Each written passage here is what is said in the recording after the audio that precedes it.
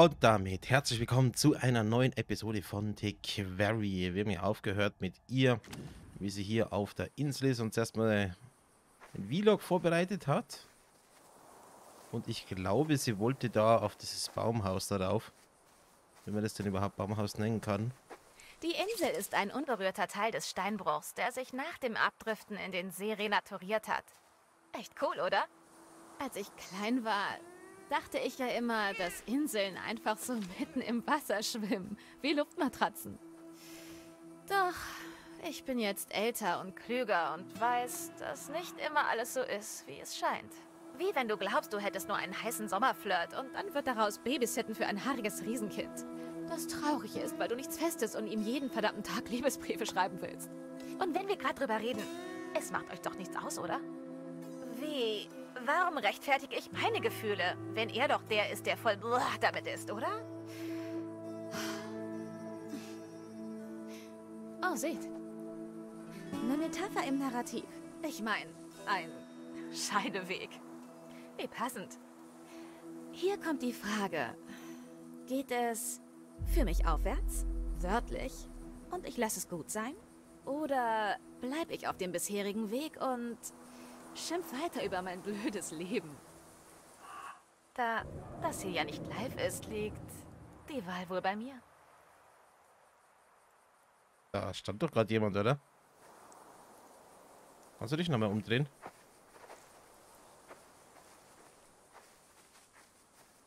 Okay. Und das ist also der Treffpunkt. Das ist ein Ort, wo man sich trifft. Äh, ich will das Ganze ja interessant machen, nur manchmal ist es halt so, wie es ist. Das wär's wohl dazu.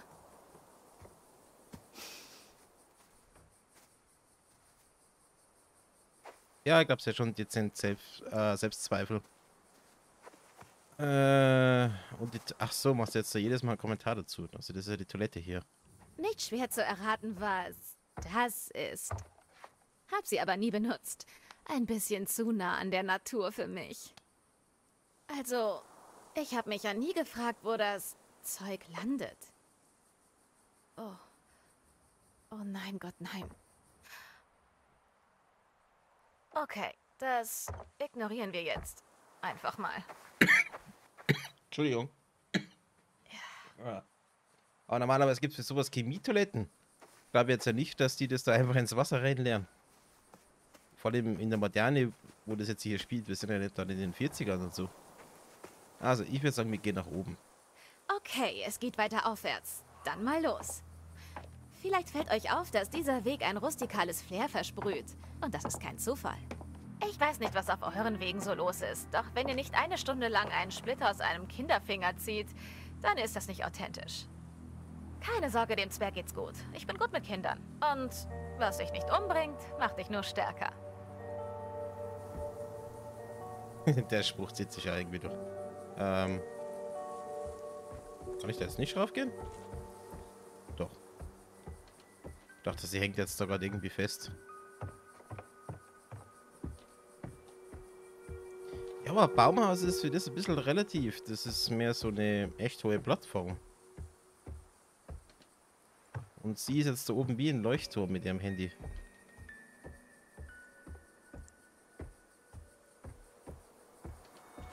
Ah, ach so, Moment mal, wir können aber da hinten zu dem Haus. Und da waren doch die Lichter an. War das hier? Das war doch hier. Ja, dann passt es wieder mit dem Baumhaus.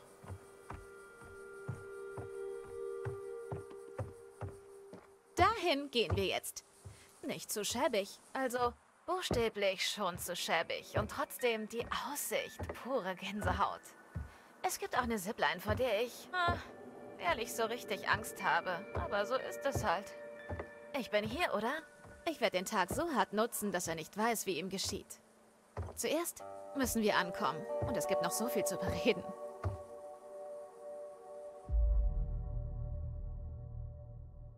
Hm, ich würde sagen, sie ist mitfühlend. Hoffe, Abby ist okay. Sie ist weggelaufen. Falls ihr es nicht wisst, ich hab mit Nick rumgemacht. Aber als Mutprobe. Ich bin echt keine Bitch oder so. Oh, und als Kontext, Abby mag Nick. Also eigentlich auch gegenseitig. Ich wollte nur die Flammen ein bisschen anfachen. Ihre Flirtversuche glichen denen betrunkener Quallen. Echt schlimm. Der arme Kerl war wie gelähmt. Aber jetzt werden sie es schnallen. Ich wette, sie sind gerade draußen im Wald und lassen es sich massiv gut gehen. Ja, nicht so ganz. So, und wo ist jetzt diese Zip... Ach, da ist die Zipline. Also einmal von da nach hier hin. Also solange ich da oben irgendwie gesichert bin, das mache ich.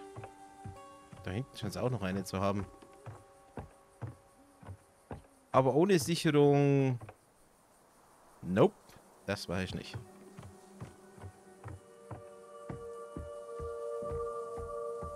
Und dann machen wir eine Notfallleiter hier nach unten. Ach, und da muss man hier aufs Dach gehen und geht da komplett auf die andere Seite. Oh, das wäre doch mega cool. Und die, hm. Dann noch irgendwie ins Wasser rein verlassen. Hat es gerade zwei Sachen? Machen wir das erstmal das hier. Oh, schaut. Schlüssel. Vom Polizeiwagen. Muss eine dieser... Tut mir leid, Officer. Ich habe keine Ahnung, was Sie meinen Situationen sein. Also lasse ich die besser einfach hier liegen. Okay. Woher weißt du, dass das vom Polizeiwagen ist? Und was machen die als zweite Frage? Also was machen die hier so? Und da sind wir. Wie gesagt, ein extrem klappriges und noch unterwältigenderes Baumhaus. In einer Parallelwelt könnten der kleine Jacob und ich hier Familie spielen. Schatz, ich bin da. Wie war das? Ich habe die Bettzeit der Kids verpasst? Puh, was für eine Begrüßung.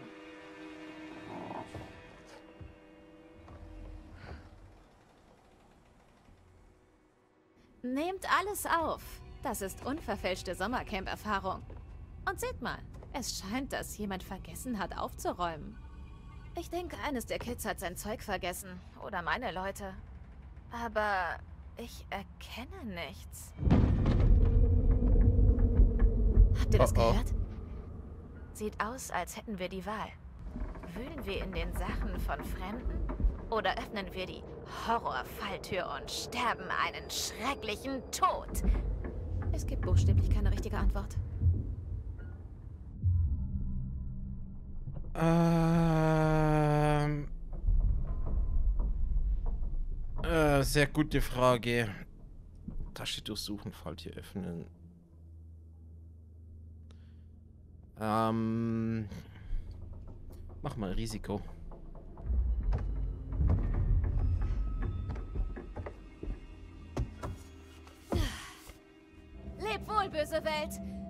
Der Vorhang fällt und keine Zeit für Zugaben.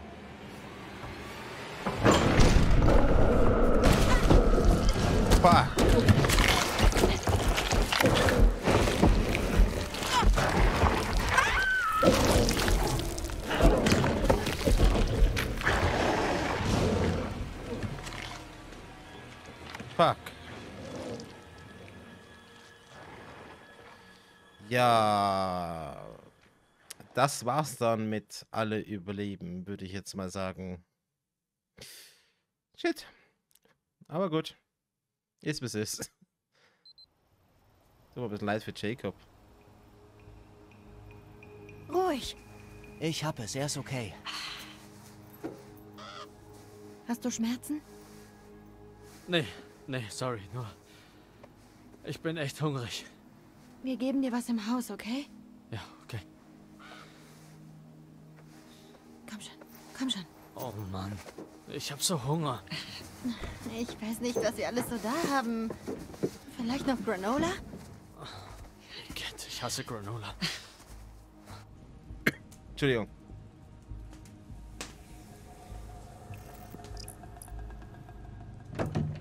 Also nicht, dass er sich verwandelt.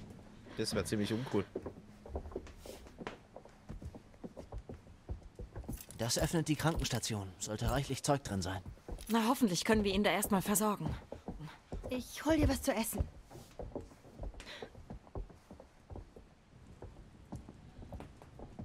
Du und ich werden ein Telefon suchen. Oh, äh, ja, ähm, äh, ist da nicht eins in Mr. H's Office? Ja, aber Gott Ja. sagen. Wir kommen zu euch.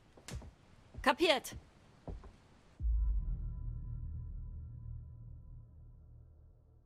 Nix, das hat die Fährte aufgenommen. Ich gehe mal mit vorsichtig. Denkst du, was immer sie angegriffen hat, hat, weiß nicht, ihre Fährte aufgenommen? Was? Ich weiß nicht, was, wenn es Blut geleckt hat und sie jetzt irgendwie verfolgt. Ich. Ich glaub nicht. Ich denke nur, wenn wir bei ihnen bleiben, sind wir dran. Ich weiß nicht. Ich glaub echt nicht. Was auch immer sie angegriffen hat, das kommt nicht in die Lodge. Okay, ja. Ja, du hast sicher recht. Komm schon, wir brauchen Verstärkung. Seltsam, aber dieser Ort wirkt so tot. Du warst nie nachts hier, wenn das Camp stattfand? Was? Nein, warst du? Kam mal vor, ja?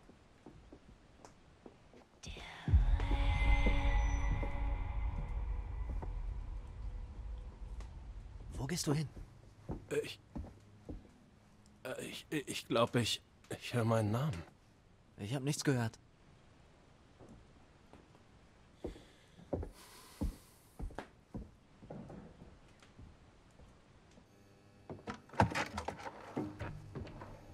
Ich denke, nix Wunden sind nicht so schlimm wie gedacht. Das Telefon wird nicht funktionieren. Das wäre ja dann das erste Mal in einem Horrorfilm. Ähm. Hoffnungsvoll. Oh, das ist gut. Ja, So was nun. wir brauchen jetzt Hilfe. Wo rufe ich an? Äh, Mr. H? Hab nur die Nummer von diesem Telefon. Okay, dann 91.1. Du meinst 911? Wer sagt 911? Ich weiß nicht, ich. Scheißegal, Mann. Aber, äh, wonach soll ich fragen? Polizei? Nach einem Arzt? Ha. Beides vielleicht? Ähm. Entschloss die Polizei, ja. Dann kommt wieder der Psychobulle, oder? Ähm. Aber die haben auch wieder Waffen. Nach dem Krankenwagen fragen.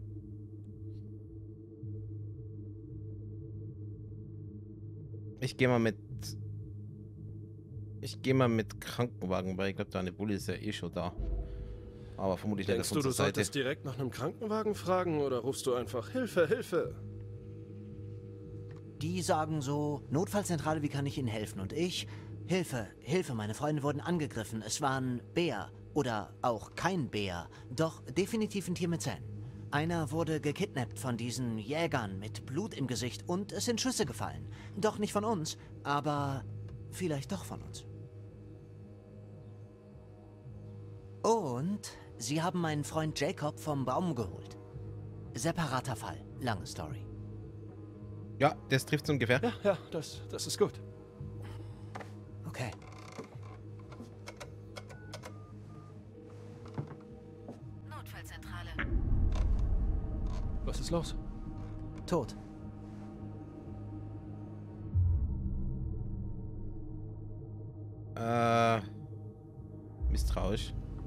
Komisch. Leitungsausfälle. Kommt halt vor. Genau dann, wenn du die Cops rufst? Das ist reiner Zufall. Hast du versucht aufzulegen? Was? Hier,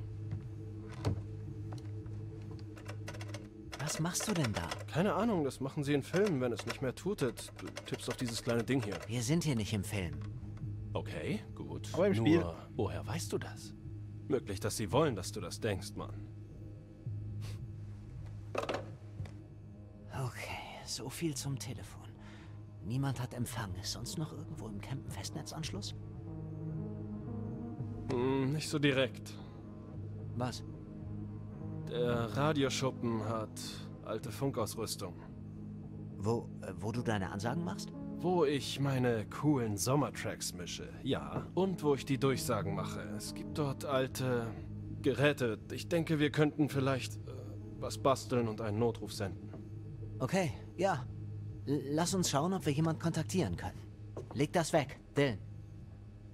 Nein, leg das nicht weg.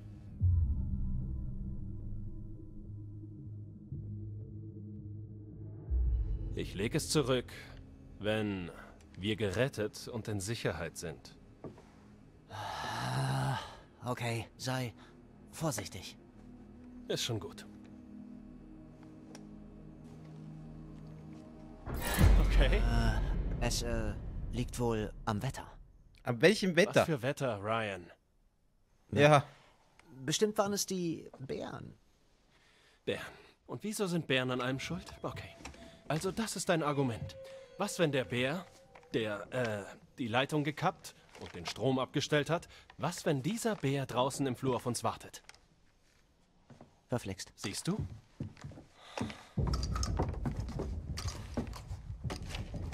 Wir sollten besser Caitlin verraten, was wir vorhaben. Sie schiebt sicher Panik. Ja, okay, ja, los geht's. Ja, aber nur so eine Frage. Wie wollt ihr die, das Radio nutzen ohne Strom? Oh mein Gott. Ja, wir bringen die am besten zu Caitlin.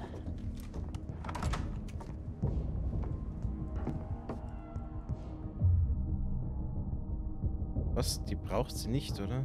Gebe die Waffe aggressiv. Braucht sie doch nicht wirklich, oder? Äh, sie braucht sie genauso sehr wie wir.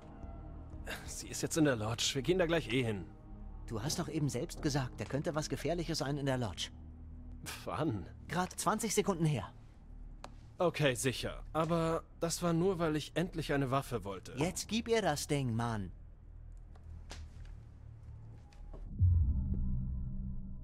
Ja, wir geben mir die Waffe.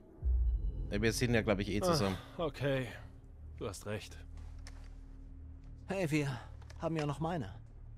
Sei extra nett zu mir und vielleicht darfst du auch mal. Schreib keinen Scheck, den dein Arsch nicht packt. Mein Arsch hat ein fettes Bankkonto.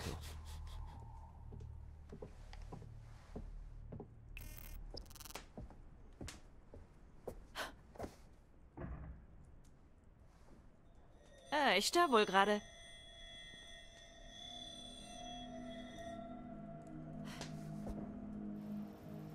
Was war das jetzt für eine Aussage? Aber nee. Kopf hoch, Großer. Ich. Ich wüsste nicht, was ich damit tun soll, okay? Ich vertraue dir. Oh, danke schön, Dylan. Du bist so großzügig und stattlich. Ja, kein Problem, mache ich doch gern. das ist so doof.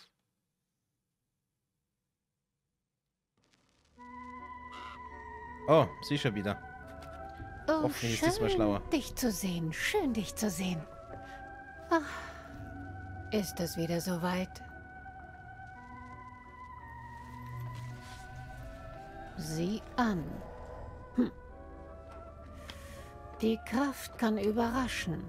Nicht jeder weiß, was in ihm steckt. Dass man Zugang zu... dass man Zugang zu bisher ungeahnten Energien haben kann. Es wirken vielerlei Kräfte in uns allen. Und was die eine Hand uns gibt, das könnte die andere uns auch wieder wegnehmen. Wie immer gibt es mehr zu sehen. Und wie immer entscheidest du. Willst du noch was sehen mit mir? Du bist creepy. Aber ja, ich möchte gern mehr sehen.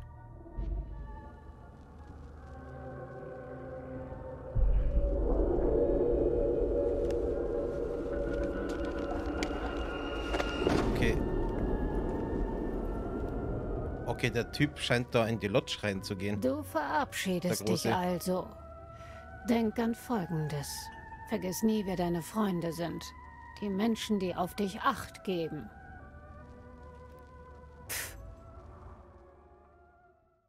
Okay. Vergiss nie, wer meine Freunde sind. Äh, mysteriös. Und ein neues Kapitel startet.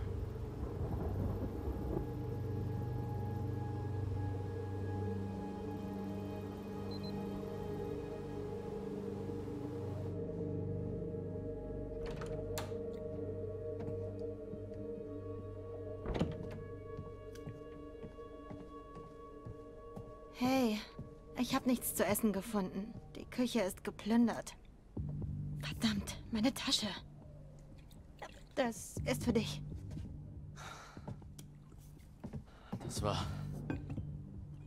Fuck. Ich weiß nicht, was passiert ist. Es ist alles verschwommen.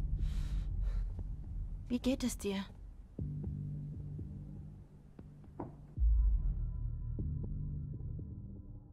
Naja, geh mal auf dankbar. Geht schon. Das wird wieder. Dank dir. Nein, nein, ich habe kaum geholfen. Dank lieber äh, Caitlin und Ryan. Du bist bei mir. Das hilft. Das ist schon irgendwie süß. Ich mag sie. Okay, sie sucht nach einem Funkgerät oder so. Wozu das, ähm, äh, Oh, äh, da war noch eins in Mr. Edges Büro, also zum Schutz. Was ist mit dem Licht? Weiß nicht. Schon besser? Das wird schon wieder. Denke ich. Was, wollen Sie zum Radioschuppen? Genau, das Telefon ist tot. Sie wollen von dort SOS senden. Wir halten die Stellung. Oh. Ja, ansprechen bitte. Habt ihr das auch gehört? Sch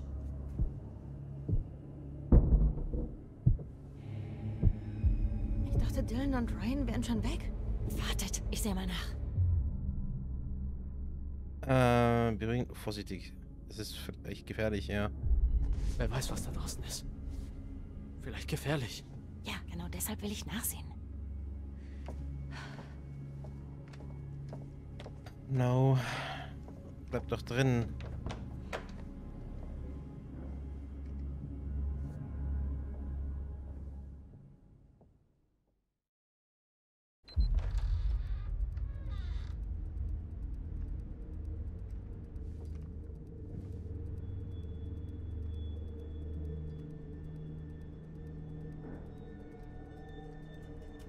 Weiß nicht, ob es schlau wäre, sich halt irgendwie zu verschanzen. Kommt jetzt die Waffe? Nee.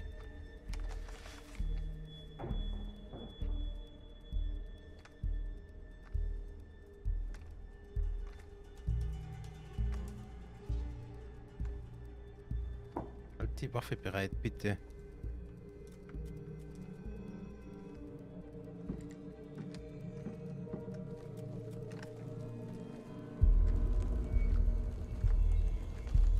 Oh nein, er kommt jetzt nicht von da, oder?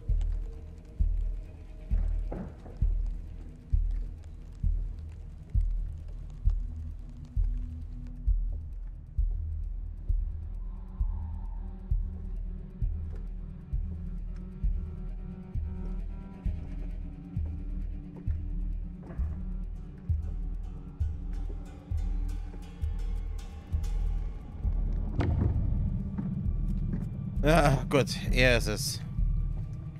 Ich dachte schon, dass es ein Monster ist. Ich weiß nicht, irgendwie bin ich entspannt, wenn ich ihn sehe.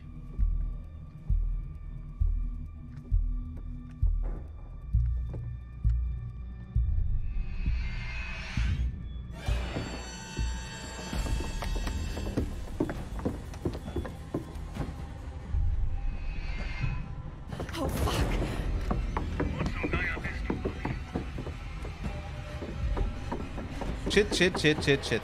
Ich glaube, ich ein Event verpasst. Also das ist vielleicht nicht der beste Zeitpunkt, aber Was? naja, ich habe gerade an den Anfang des Sommers gedacht, als wir uns kennenlernten und ähm, den Start des Camps und da der Sommer nun bald vorbei ist, frage ich mich, ob wir uns danach nochmal wiedersehen, weißt du? Sorry, Nick. Was, was hast du gesagt? Hey, sorg dich nicht um Caitlin, sie ist zäh. Ich weiß. Tut mir leid, Nick. Ich bin abgelenkt. Lass uns erst die Nacht durchstehen, okay?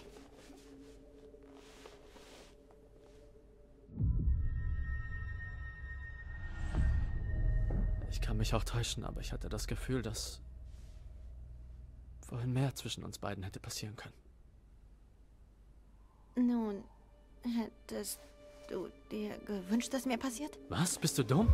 Hey, Sorry. Hä? Ich Was sollte meine, das jetzt? natürlich wollte ich, dass mehr passiert. Ich war nicht sicher, ob du auch willst. das scheint jetzt schon so lange her zu sein. Du hättest aber auch mehr gewollt? Äh, ähm, äh, Sag's mir ruhig. ja, glaub schon. Das sagst du nur, weil ich verletzt bin. Nick, Er verändert sich.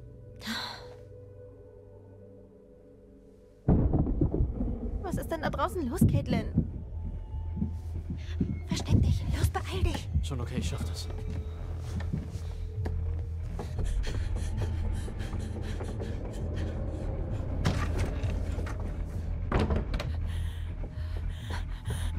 Mein Gott. Was ist los? Wo ist das Gewehr? Wir müssen hier raus. Nein, versteckt euch.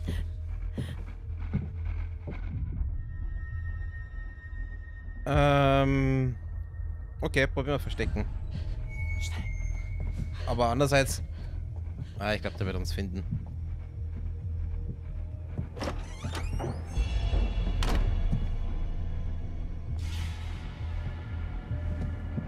Ich bin mir halt nach wie vor nicht sicher, ob er jetzt gut oder böse ist. Gut, in der Situation halt wohl böse, wenn das jetzt hier so eine Action-Scene ist.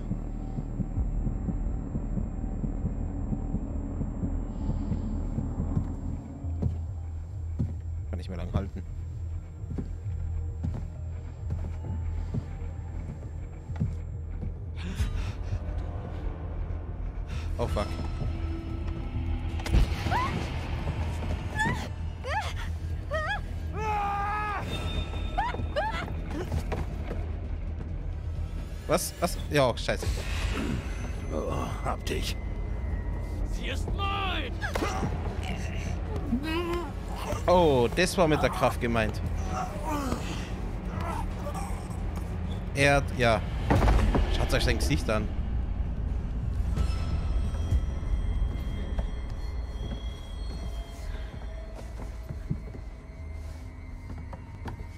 Ja, doch. Ich glaube, er gehört zu den Guten. Er will es aufhalten. Hm. Schwierig. Im Radioschuppen gibt es also echte Technik. Ich dachte, das reicht nur für deine Morgenansage.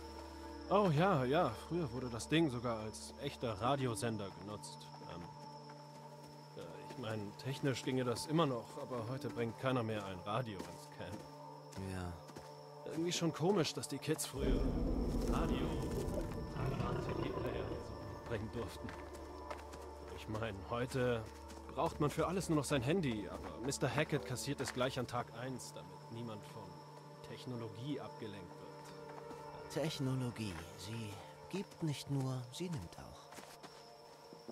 Das Und ist ist wohl das wahr. etwas, das du später mal machen willst? Äh, Camp-Radio? Ich meine, ähm, DJ oder Musik oder so.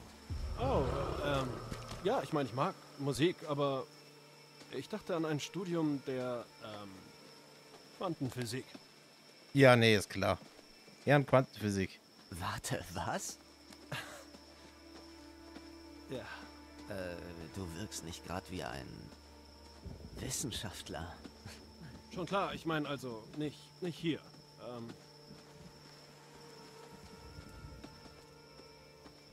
Sondern, wo? Und was macht's für einen Unterschied, wenn es woanders ist? Tut, äh, tut mir leid, das macht mich jetzt irgendwie neugierig. Was meinst du mit nicht hier? nicht hier im Camp. Ich ähm, mache das zu Hause und ähm, hier bin ich. Bist du, ähm, klugscheißer Klassenclown? Äh, so würde ich es nicht sagen, aber. Was? Okay, gut, vielleicht bin ich mal in eine peinliche Gesprächssituation hineingeraten und habe sie mit diversen Witzen ein wenig überkompensiert. Du trägst dazu bei. Ja, ich meine, die anderen mochten den blasierten Dylan. Und, und du? Magst du den blasierten Dylan? Naja, wen interessiert's, Mann? Ist ja ganz cool. ähm, ich mag Dylan, Dylan. Nun, schön, dass du hier bist, Dylan Dylan. Ich bin Ryan Ryan. Naja, eigentlich bin ich... Lass uns schnell hier verschwinden, Ryan. Ja, den mag ich. Äh, Das ergibt wirklich Sinn.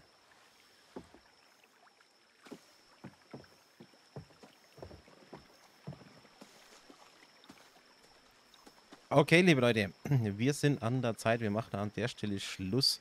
Und bei der nächsten Episode geht es dann weiter mit dem Radio. Wenn wir es bis dahin überhaupt schaffen werden. Denn wir werden verfolgt. Spannend. Ich muss sagen, Spiel gefällt mir bis jetzt wirklich sehr, sehr gut. Es ist eigentlich mehr, ja, interaktiver Film. Echt cool gemacht. Und es gibt sogar einen eigenen Filmmodus, den werde ich mal so ausprobieren, wie das dann ist. Aber ich glaube, da kannst du dann wirklich nur die ganze Zeit zuschauen. Kannst dann vorstellen, äh, wer stirbt und wer nicht stirbt. Beziehungsweise die ganze Gruppe. Aber ja, schreibt mal noch in die Kommentare, wie es euch so gefällt. Wenn ihr wollt, lasst sogar einen Daumen nach oben da. Ich bin draußen und wir sehen uns bei der nächsten Episode.